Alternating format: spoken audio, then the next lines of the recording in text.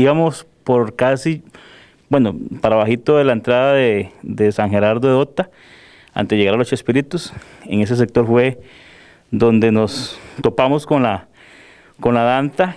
Eh, fue un susto porque la vi de pronto, frené, chillé el carro y todo para protegerla, pero este, gracias a Dios no pasó nada, eh, ni para ella, ni para nosotros tampoco, porque Dios guarde era pasado porque era, era, grande. Pero sí, fue una experiencia bonita. Eh, yo tengo más de, de, ocho años de estar viajando a San José eh, por mi trabajo y estos últimos años he estado más continuo, este, ¿qué le digo? Casi todas las semanas. Y siempre he tratado de buscar viajarme en la madrugada para encontrarme con una, una danta. Y esta vez fue el, el día, el día que llegó. Eh, gracias a Dios fue un susto, sí, porque, porque en su momento la vi muy de cerca, pero, pero por dicha todo salió bien. ¿A qué hora fue eso, Andrés? Alrededor de las 5 y 30 de la mañana, en ese sector, a las 5 y 30 de la mañana, eh, ese sector eh, fue que nos encontramos con ella. Eh, ¿Usted se bajó del vehículo también? Sí, porque ella estaba, la vimos primero como, como que estaba golpeada, entonces me bajé del vehículo para, para ver si es que estaba golpeada o para ayudarla y, y espantarla, para que no la golpearan otros carros. Eh, sí paramos el, había unos carros atrás mío que paramos el tránsito para que ella, o sea, para que no la golpearan, y la, la arriamos, como llamamos, para, para que se fuera y eh, buscó su camino, ¿verdad?, para, para la montaña.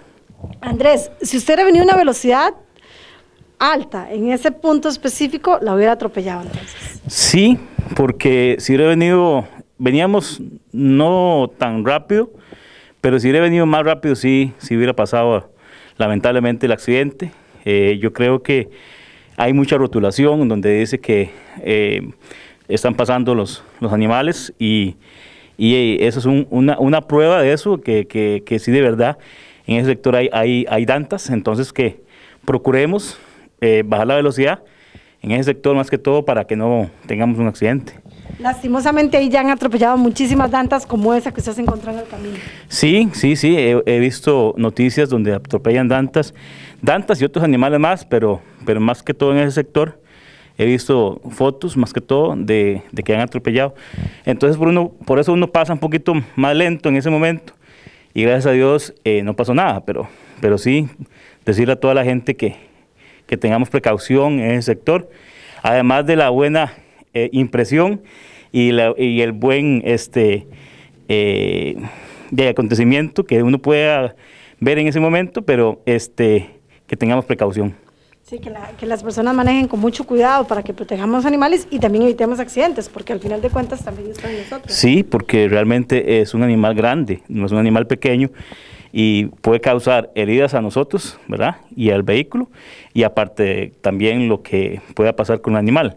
Y a veces andan dos o tres, ¿verdad? Juntas, entonces de ahí puede ser peor. Pero sí, sí, gracias a Dios todo, todo salió bien.